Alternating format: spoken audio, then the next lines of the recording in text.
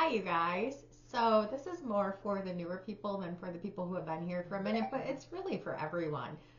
Um, I understand that there is skepticism with regard to the research regarding the end times, meaning that there are a whole bunch of people who are fatigued from people trying to figure things out.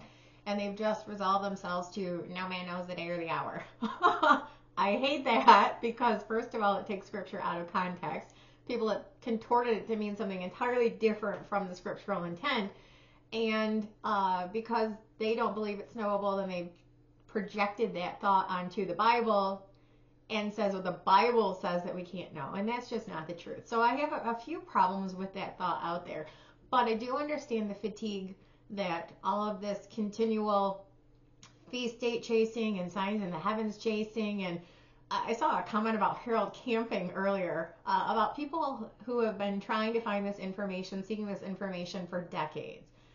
And people have just gotten exhausted from people thinking they knew and turned out to be wrong. And um, I get it. I get it. That's all I can say is I get it.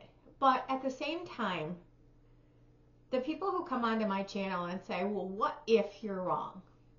So I have safeguarded my research to the best of my ability. And when I say to the best of my ability, it means because I wasn't there to see these specific events in these specific years, I have to defer to historical records.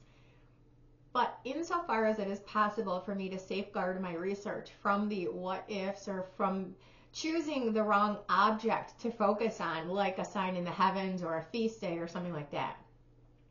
When you follow it through the Bible and you use the correct data points and ascertain the correct dates and times and years and counts, you are only ever going to arrive at a singular conclusion, not a myriad conclusion.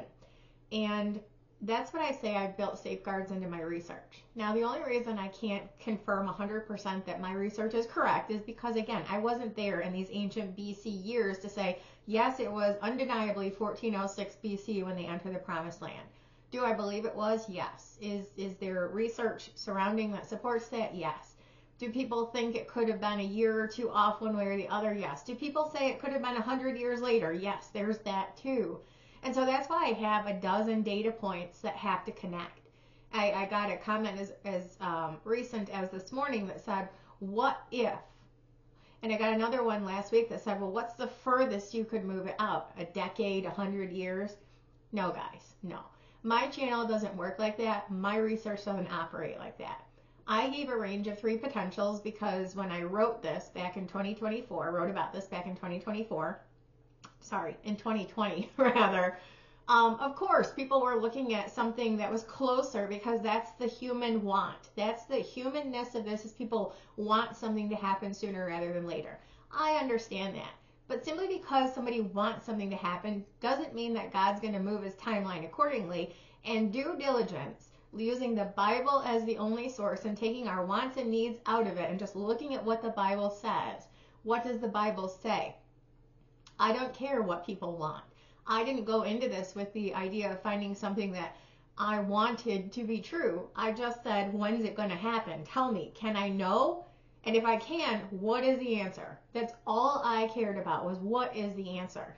And so I used a dozen data points to find the the year.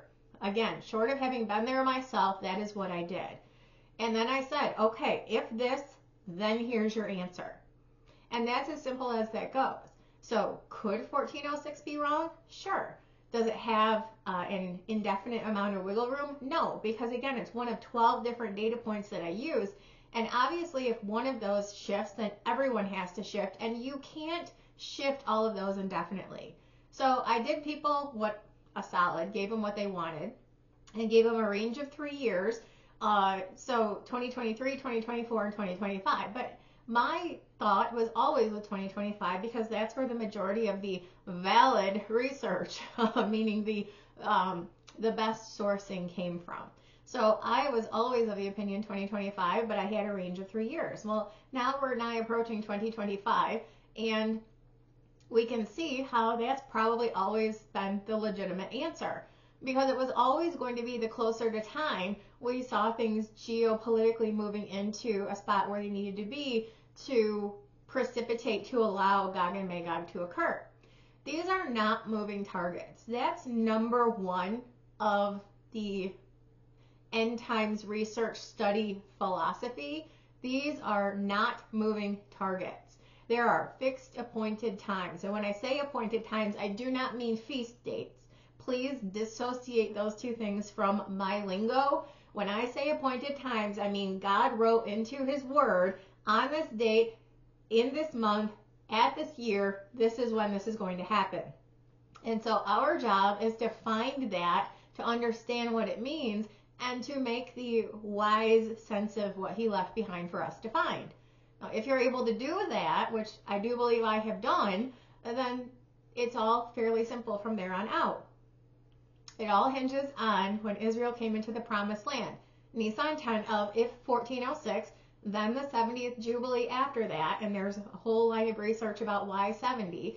But contextually, it's Daniel was in the 70th week, uh, he was in the 70 years of Babylonian captivity, understanding the end point of that, when he received the vision of the 70 weeks, which includes 70 AD, but the 78th week of which will occur on the 70th Jubilee. So if 1406, then 2025. And the Sabbath years, which the Jubilees are built upon, all have a Nisan 10 start date which is why the event, which is tied to Seal 1, the opening of Seal 1, is pinpointed to in Ezekiel 40, the beginning of the year, the 10th day of the month, Nisan 10, in a Jubilee year, which would be the 70th. So I understand that there is a cynicism about this. I understand that there's a hesitation to accept this. Well, that's because you're not me and you didn't do the research. If you were me and you did do the research, you would know that it's pretty foolproof. But at this point, I'm just sharing what I, I showed you. Uh, but you don't have my methodology. You don't know how I was led to these things. You don't know the hows and whys, the what's, the where's, the, you know, whatever. You just have the end result. And you are thinking that I'm just supposed to expect you to accept that. You don't have to. Do your own research. I have over and abundantly given you all of the research that I use so that you could follow the same path that I did 100% of the time for whoever chooses to do the research. The difference is you might not agree with it, or you might have different uh, interpretations of things. That's fine. But then you have to understand that I'm not the one seeking the information from other people. I'm not the one out there saying, well, does this person agree with me? I don't care if they do or not. I know what my research was. I know it's right and I know where it leads and I know how and why I got it. I'm not the one seeing uh, out there saying, what if this? What if that? What if you're wrong? I don't have that cynicism. I don't have those jaded thoughts.